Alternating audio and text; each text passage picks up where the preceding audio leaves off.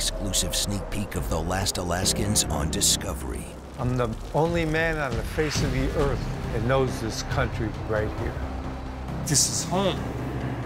It's heaven on earth. When you're a couple living out in the woods, you have to depend on each other for everything. Once we land out here, we're battling weather and time. You really don't realize what you have until it's gone. He's not healthy, he's not doing well, and he knows it. Bear tracks. See that? I'm just another predator out here. Winter's going to hit so hard and so fast. If you're not prepared, well, then you're in trouble.